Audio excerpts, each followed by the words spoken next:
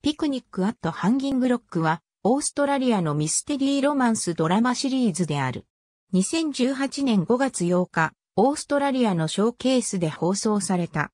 ジョーン・リンジーの1967年の小説、ピクニックアットハンギングロックに基づき、名所ハンギングロックへのピクニック旅行中に起きる女学生の失踪事件を描く。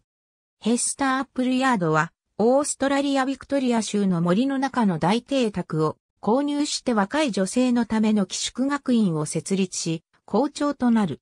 1900年のバレンタインデーに教師と生徒たちが名所である岩山ハンギングロックに日帰りのピクニック旅行に行く。現地では3人の生徒と1人の教師が行方不明となる。事件は教師、生徒だけでなく地元のコミュニティに衝撃をもたらす。様々な説が唱えられ、秘密が暴露され、ヒステリーが巻き起こる。やがて、行方不明の女性たちの一部だけが発見される。学院は崩壊して校長は自殺し、事件は謎に包まれたままとなる。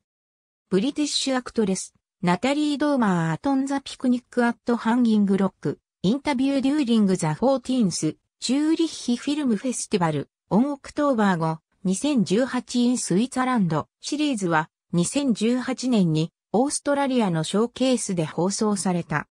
イギリスでは BBC で放送され、フランスではカナルで、アイルランドでは RTE で放送され、アメリカでは Amazon ビデオで配信された。ギリシャではルトで放送された。日本では Unext で配信されている。ありがとうございます。